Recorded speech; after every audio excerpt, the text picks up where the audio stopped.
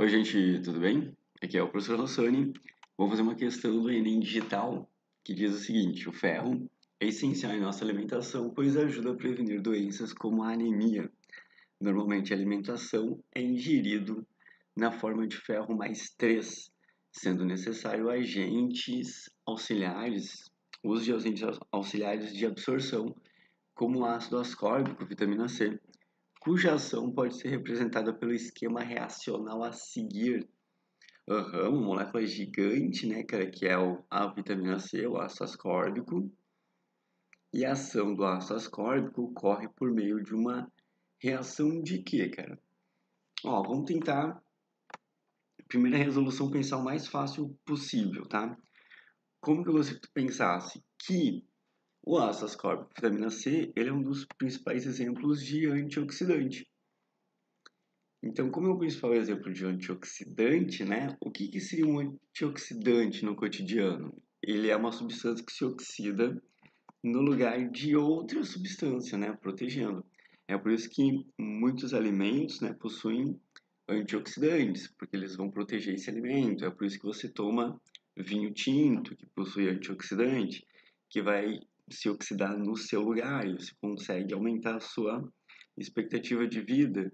Então, é, o antioxidante é um negócio muito importante, né? Então, eu sei já que o ácido ascórbico ele vai fazer uma reação de oxirredução, né? No caso, ele vai sofrer oxidação, o ferro redução, mas se eu não quiser pensar em termos de oxidante, antioxidante, eu não sei isso do cotidiano, a gente pode ir para o conceito químico mesmo, né? Assim, ah, então eu teria que saber o que é uma oxidação, né? Oxidação é perde elétrons, oxidação e aumenta o NOx.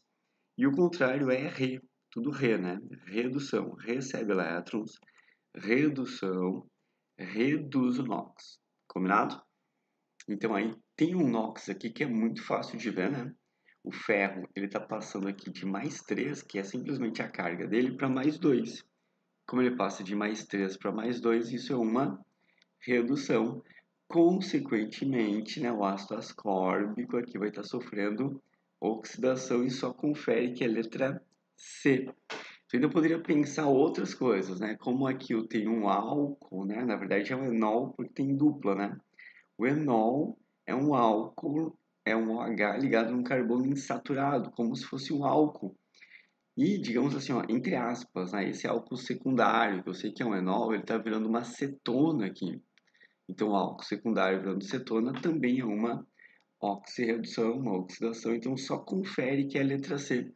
E tem mais, se você gostaria de mais análises, né? Mais todas as questões do Enem resolvidas dos últimos anos, cara. E aí separados por matéria, por nível de dificuldade, a gente criou um studbook chamado Studbook Química no Enem e você tem acesso a esse studbook, cara, assistindo esse vídeo, né? Na descrição dele vai aparecer a venda e a gente só anuncia isso em vídeo de gente que está interessada mesmo, tipo, a gente jamais vai anunciar isso em outros lugares, cara, porque a gente quer que somente o pessoal que realmente está estudando e dá valor para esse studbook é que, é que obtenha ele, né, de forma muito fácil, que é clicando nos links aqui embaixo.